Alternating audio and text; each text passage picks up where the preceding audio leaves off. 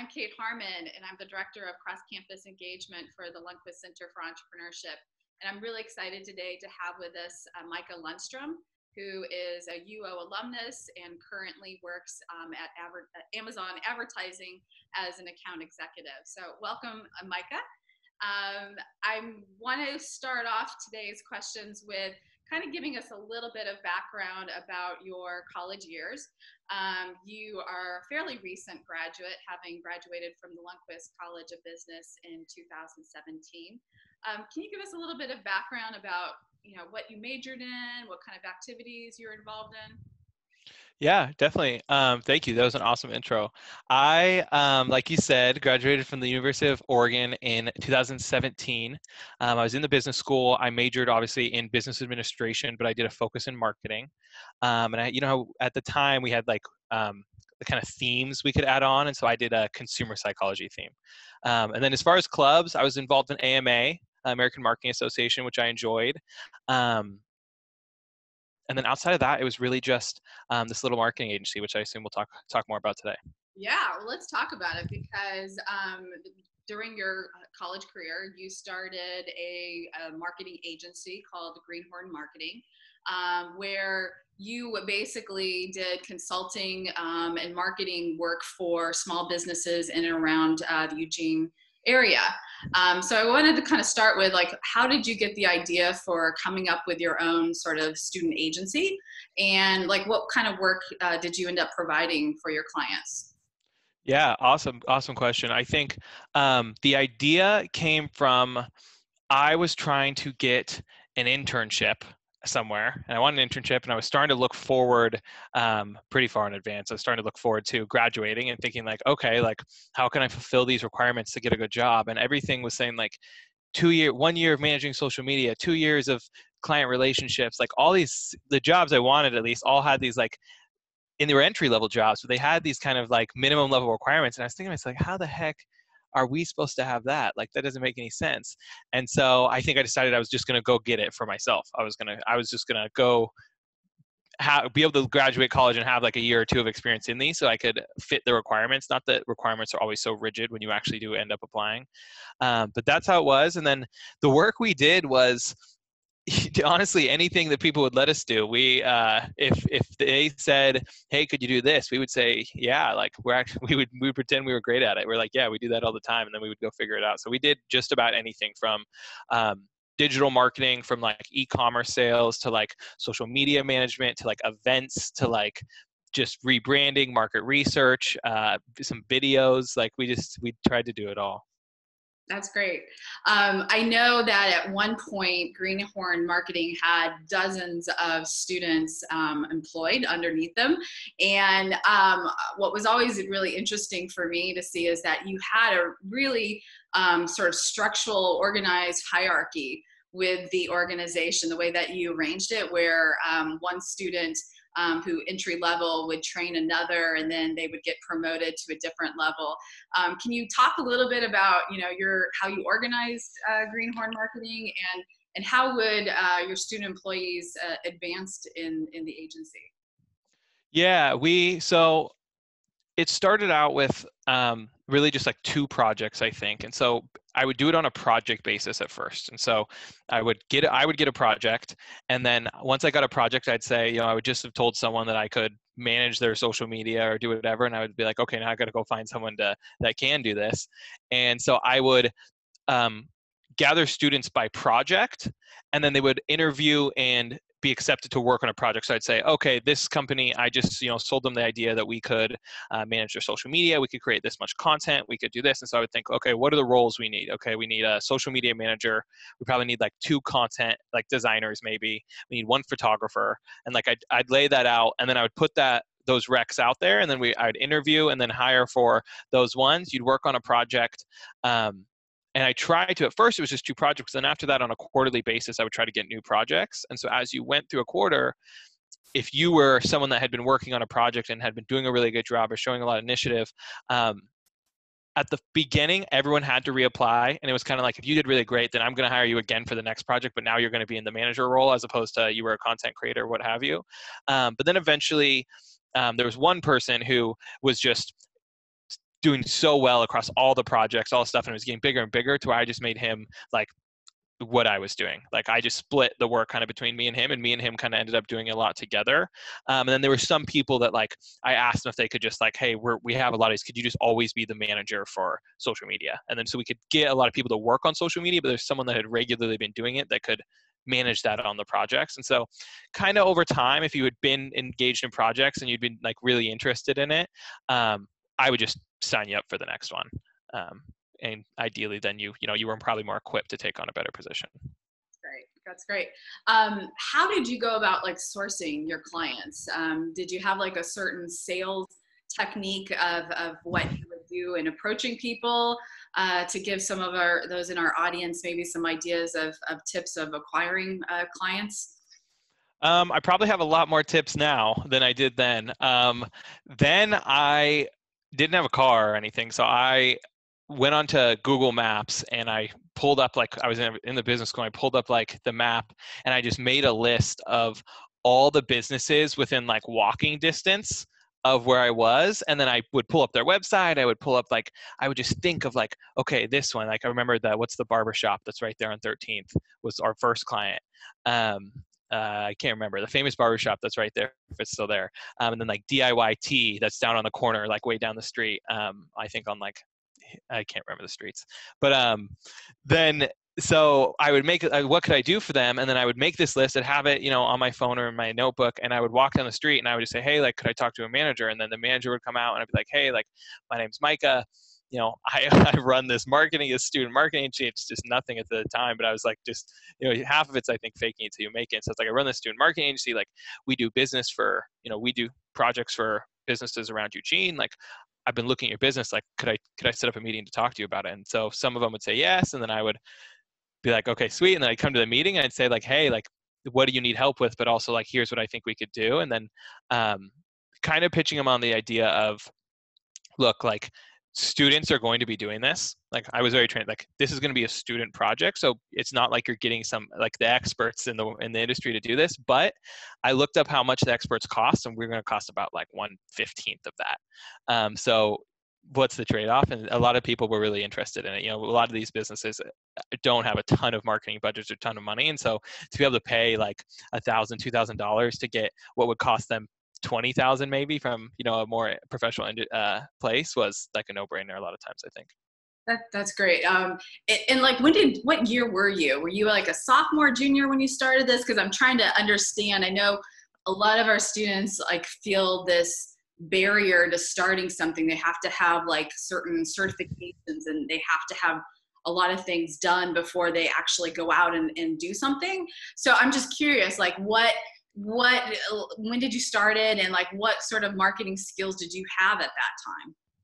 I think i had very limited marketing skills ever when i was in college and i think that was okay. I think i think i had an idea. I thought i, I think at the time i thought i had really great marketing skills. Um, i think in retrospect that was completely untrue. I think that um, I had I had done a lot of sales experience. I'd done like some door to door jobs and stuff like that that had gotten me kind of practice like going and talking to people. But as far as marketing, I'd help my dad out with his marketing, like his company when I was like little and like some of that, but not not really anything. I think it was a late sophomore year.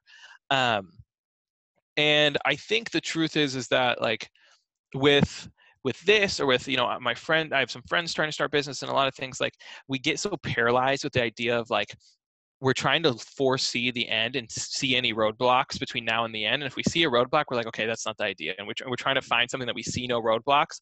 But in the end, like our first ideas now, especially in college, are, aren't going to be huge businesses most likely. And so it's mostly about like just doing things and then the skill it's a, we're trying to build skills as fast as possible so if you just do things it's probably going to fail but that's okay because you're going to pick up a ton of skills and a ton of practice and so i probably learned more about marketing after having started than i really knew at all before and i knew other things like it was not the first company i tried to start i tried to start I had so many dumb. I had like I was gonna do like Uber for groceries. It was called Never Shop, and you were gonna I was putting flyers on my neighbors' doors and like I was gonna go to the store and pick up their groceries and they were gonna order through this website. And so to build the website i like taught i learned some like basic coding and then all these things like you pick up skills along the way to where none of those things succeeded but then later on some of those skills have come into come into play massively and so i think it's mostly about just doing things. You you rarely have, I think, all the skills you need to do. Even now, I even I don't have all the skills I need to do my job today.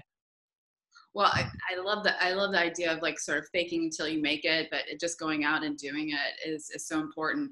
Um, having had you as a, as a student in class, I know that Greenhorn spent you spent a ton of time on it. Um, can you if you remember back to that time period like do you remember what a typical day looked like like how many hours were you putting in i know uh, you often would share with me like you were up you know half the night kind of um, trying to get, get through some of your projects i think yeah i think um and maybe we'll talk about it later but yeah i i guess going back to the question actually i think it at times it was a lot of work. It was a lot of work at times. It was at the peak maybe there was like maybe five or six projects going on at once and while you want everyone to be as invested as you are they aren't so i think and also i was maybe a little controlling and so i think like i was trying to do a lot and i think so at times um, i was going to class um, and i was obviously hanging out with friends you know going to going to the bars and doing every doing all the things in college but i was spending a lot of time you know all i was working full days of like when i wasn't in class like working on kind of these projects and kind of tracking them and um, there's definitely some you know maybe late late friday nights when i didn't um, go out but uh, for the most part it was it was a nice balance i think. Did you use any particular tools or processes to help you stay organized um, i had we i had i remember i had weekly meetings with the leaders of each project um, and then they would tell me they had weekly meetings with their teams and so i would come um, occasionally to the weekly meetings with their teams, but if not, just kind of meet with the the, the leaders weekly.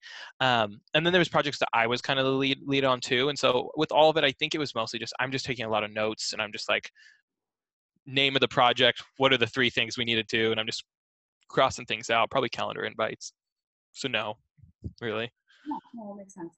Um, like what, as you think back to that time period, what do you think was your greatest success? Was there a particular project or um, just the sheer ability having to operate this with so many um, students underneath you is can you point to any particular parts that that you're particularly proud of i um I, I think i'm particularly proud of the fact that like we took something that was not at all there was no justification for it being real whatsoever and convinced people it was real enough to be able to i think in the end there was like over 50 people that had worked on a greenhorn project and so now all these people like references as they went on to get jobs and like when you go on linkedin i think a lot of them have removed it but there's at least you know 20 25 people still with it on their linkedin and so i just think that's cool to be able to eh, in the end, I was able to leverage it into getting a job, and I hope that a lot of other people at least were able to speak to experience they had as a social media manager or as a whatever it was um, as they went to get jobs. So that was pretty cool, and even just convincing. I think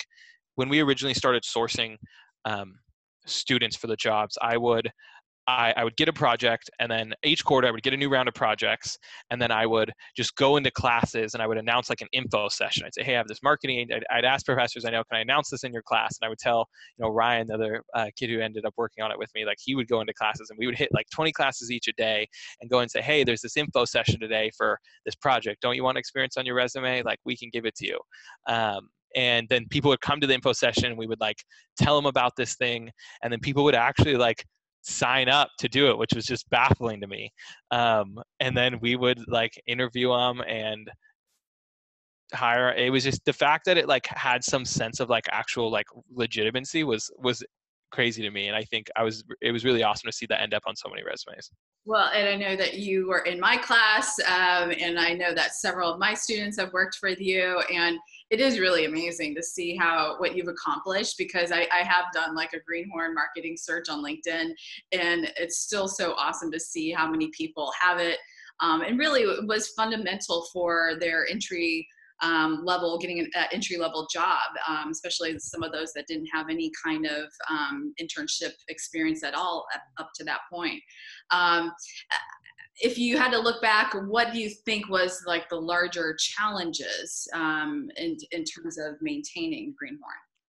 Um, I think the challenges were a, there were a couple major challenges. I think one, um, I think like management was a challenge. Like I think I always thought like oh i'm going to be this great manager but like in retrospect like i had no clue what i was doing like interviewing and like all these things like we didn't know what we were doing we didn't know how to interview people we didn't really know how to manage people and so i think there were probably a lot of challenges to where like we weren't doing that that well um, but we were getting by um, and so I think like that was definitely a major challenge. I think structure was a challenge. Like we were always trying to implement structure and organization, but like with all these projects going on to like collect the money from the clients and actually like show them the results we delivered and like keep these projects on track. And like you want everyone to be invested as you are. Once you have all these people working you like but then at a certain point for some people it's everything. They're so excited. They want to be the next you know head of greenhorn and they're like going in. But other people like it's almost like another class to them. Like they could care less. And so it's hard because you're like why aren't you you know as excited about this as i am? Like and so you're having to like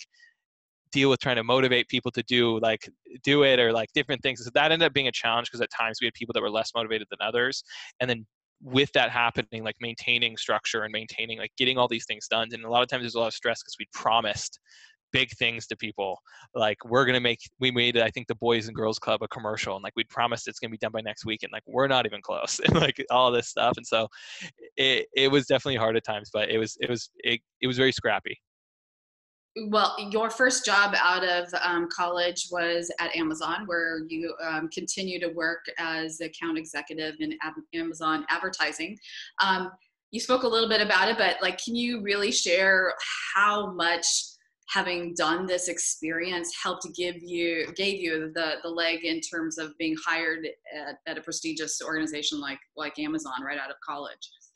Yeah, I think that um, more and more places like eh, definitely like if you come interview at Amazon, I don't even know. I don't know. I've done. I think in the last two weeks, I probably interviewed maybe like 13 people, and I don't couldn't tell you any where any of them went to school or where any of their GPAs were or anything. Like that has gone out the window to the max in a place like Amazon, especially. I would hope most places, but like Google's, Amazon's, Facebook's, Apple's, they don't care what your your GPA was. They don't care what you really majored in at all. Like we have, I have a person that works with me that majored in history. I have another person that was a science major. Like it doesn't matter. It's about they ask behavior now like top places are asking behavioral questions to understand if you can give an example of demonstrating a way of thinking. And so in the end um, it was just a great place to source examples from. I had so many times when i had um, what's a time that like you messed something up? What's a time that you um, like hit a challenge and had to dive deep into the details to get around it? Tell me a time that you simplified a process. Tell me like all these different things. I had so many examples to pull from that um, it was it was probably like 80% of every, you know, all I think like six interviews you go through to get the job. And so it was a big part of all my interviews. That's awesome. Um, uh, one of the things that, um, as you as you think back to um, Greenhorn or, or your college days in general, I'm just curious. Would you, if you had to go back, do anything differently? Um, whether that would be something different with Greenhorn or even your college career in terms of is there a skill set or area of study you wish you would have um, studied um, anything like that um, i think from i think i'm pretty happy with like the places i chose to get involved and the um, the the things I studied and the things that I really enjoy consumer psychology a lot. I mean, Troy Campbell was one of my uh, teachers, and I just loved taking like some consumer psychology classes there, and it was so much fun. Um, but I think if I could go back, I would have charged more. I think we were charging less, too little. I think there was definitely like at times we were like, "Give us eight hundred dollars, we'll do this." And like we were doing so much work, like we could have charged more than eight hundred dollars, but I didn't have the sales skills maybe to get that amount of money. Um, so who knows?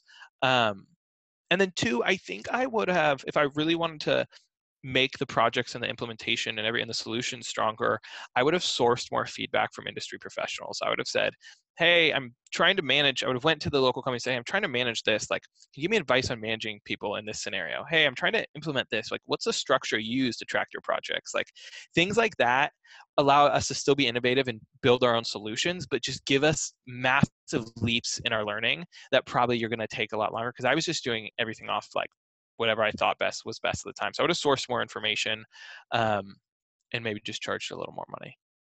Very good. Uh, great advice. Uh, our last question. if you had advice for today's students um, to try to do something similar, whether it's starting their own freelance or consulting business, um, what kind of things would you recommend that they start with or, or um, just start getting out and doing?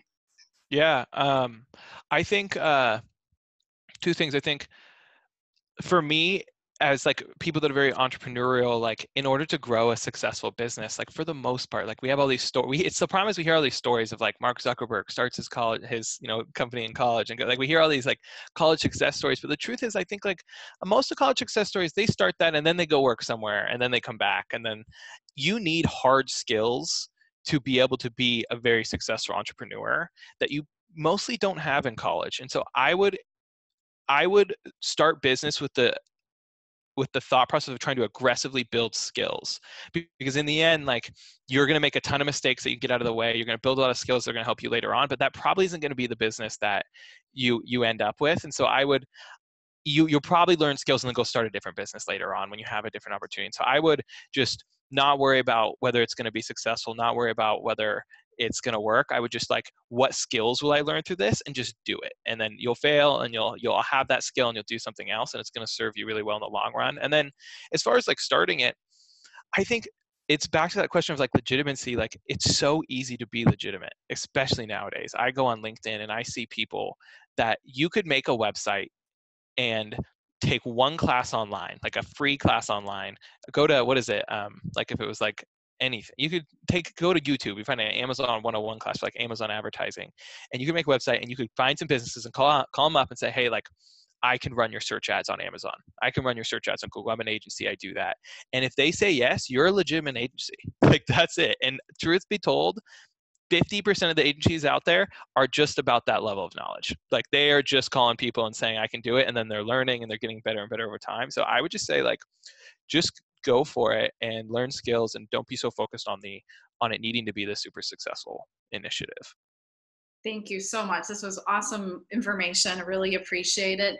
Micah Lundstrom, account executive at Amazon Advertising. Thanks so much, Micah. Thank you.